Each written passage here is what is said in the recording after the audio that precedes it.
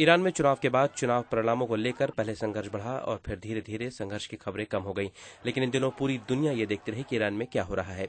शनिवार को अमेरिकी राष्ट्रपति बराक ओबामा ने भी अपना रुख कड़ा करते हुए कहा कि ईरान में अपने ही लोगों के खिलाफ हिंसा बंद होनी चाहिए। वॉशिंगटन डीसी में ईरान की स्थिति के बारे में जानकारों ने अपनी अपनी राय रखी। बात नेदा सुल्तान की भी हुई। Soltani uh, was walking uh, with her professor of philosophy uh. जानकार अफीन मोलावी ने कहा कि नेदा सुल्तानी अपने प्रोफेसर के साथ तेहरान की सड़कों पर हो रहे प्रदर्शनों को देख रही थी। वो सेलफोन पर बात कर रही थी और एक गोली उनकी छाती के पार हो गई और वो मिनटों में ही मर गईं। उनकी मौत की तस्वीरें हर जगह दिखाई गईं और वो 2009 के संघर्ष की पहली शहीद प्रतीक बनी। दूसरे जानकार फ्लिंट लेवरेट ने कहा कि मीडिया के साथ साथ अब सबको समझ जाना चाहिए कि इस समय स्थिति बदलनी मुश्किल है। In a strategic sense, this episode is over. Flint ने कहा कि कूटनीतिक मायने में यह अध्याय खत्म हो चुका है।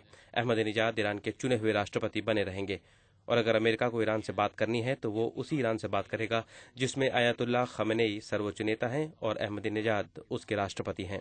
It is going to be engaging an Islamic Republic of Iran in which Ayatollah Khamenei remains the supreme leader, and Ahmadinejad, as I said, is the president.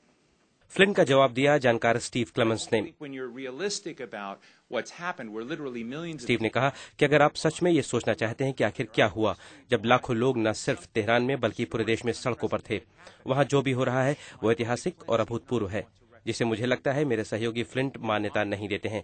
मेरे विचार में ईरानी लोग कह रहे हैं कि अभी उनका चुनाव पूरा नहीं हुआ है। हो सकता है मेरे साथी की समझ ज़्यादा हो कि इन सब में क्या निकल कर आएगा. Amit Shrivastava voice of America Washington DC